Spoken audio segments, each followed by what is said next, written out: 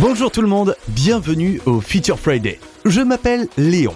Dans ce Feature Friday, je veux vous présenter une fonctionnalité existante, c'est-à-dire gravure et marquage. Nous recevons beaucoup de questions à ce sujet. C'est compréhensible car la méthode de travail varie selon que vous commandez vos pièces avec un fichier DWG, DXF ou STEP. Les gravures peuvent s'avérer très pratiques comme aide de positionnement pour l'assemblage. La mise en place d'une ligne peut épargner beaucoup d'efforts de mesurage. La gravure d'un texte peut aussi être utile, par exemple pour l'identification des pièces. Les marquages, aussi appelés poinçonnages, sont pratiques lorsqu'un trou est trop petit pour être découpé. Dans le cas du poinçonnage, une amorce est créée au centre de l'emplacement où le trou doit être fait. De ce fait, vous pouvez positionner facilement votre forêt pour percer le trou vous-même. Comme je viens de le dire, la façon de commander une gravure et un marquage diffère pour un fichier DWG DXF et un fichier STEP. Nous commençons par un fichier DWG DXF. Pour un fichier DWG DXF, vous tracez simplement les lignes de gravure sur la pièce dans votre logiciel de dessin sans qu'elle touche les contours de découpe. Vous importez le fichier dans Sophia. Dans la vue de liste, cliquez sur la pièce pour ouvrir l'écran de configuration. Depuis la vue 3D, vous accédez directement à l'écran de configuration. Sélectionnez l'épingle à côté des lignes de gravure voulues et cliquez ensuite sur Graver. Les lignes sont marquées en jaune. Une méthode alternative consiste à dessiner les lignes de gravure préalablement en jaune dans votre logiciel de dessin. Sophia reconnaît et gravera les lignes. Les trous de diamètre inférieur à 0,2 mm sont poinçonnés automatiquement par Sophia. Vous n'avez rien à faire pour cela.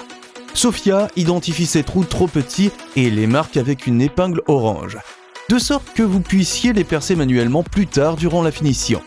Pour graver un texte, il est important que vous utilisiez une police de caractère adaptée. Pour les commandes passées avec des fichiers DWG-DXF, deux possibilités se présentent. Pour les lettres avec des lignes simples, nous conseillons OLF Simple Sans OC. Pour graver des lettres style pochoir, nous conseillons TC Laser Sans. Utilisez-vous un fichier STEP avec gravure? La méthode de travail est alors différente de celle suivie pour un fichier DXF DWG. Les fichiers STEP sont constitués de dessins 3D. Donc pour tracer des lignes de gravure identifiables, vous devez indiquer une profondeur de 0,2 mm dans votre logiciel de dessin. Notez une condition importante. Les lignes de gravure ne doivent pas former un contour fermé. En effet, Sophia interprète un contour fermé comme une ligne de découpe, ce qui a pour conséquence de supprimer tout ce qui se trouve à l'intérieur du contour de la découpe. Pour illustrer cela, j'ai téléchargé ce fichier STEP dans Sophia.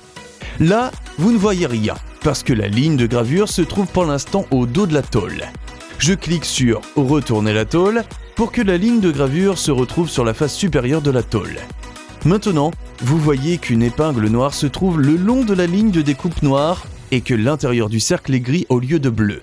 Cela signifie que le contour sera découpé au lieu d'être gravé, ce qui n'est pas ce que l'on veut faire. J'importe une autre version du fichier STEP dans Sophia et j'attribue le matériau. Maintenant, vous voyez que le cercle et le rectangle sont tous les deux jaunes, ce qui signifie que Sophia les reconnaît comme lignes de gravure. Les épingles jaunes indiquent aussi la même chose. Les zones grises à l'intérieur du cercle ont disparu, et tout le côté de la tôle est maintenant bleu, comme il se doit. Cela est dû au fait que les contours sont interrompus par une minuscule entretoise. Vous ne le voyez pas du premier coup d'œil, mais en zoomant, elle devient visible. Une petite entretoise de 0,2 mm est suffisante. Sophia reconnaît de ce fait que le contour est interrompu et sait qu'il ne peut pas s'agir d'un contour de découpe, donc le contour est gravé. Vous voyez aussi les quatre épingles orange. Ce sont les indications du poinçonnage. Les trous sont trop petits pour être découpés. Ils sont donc dotés d'un marquage avec un point approfondi au centre idéal pour centrer votre forêt. Pour faire poinçonner ces points, il vous suffit de tracer un trou de 0,2 mm dans votre logiciel de dessin. Et voilà le résultat. Vous voyez le bac avec la gravure et les trous marqués, issus du fichier STEP. Vous savez maintenant comment commander vos gravures et poinçonnages. Merci d'avoir pris le temps de regarder la vidéo et rendez-vous au prochain Feature Friday.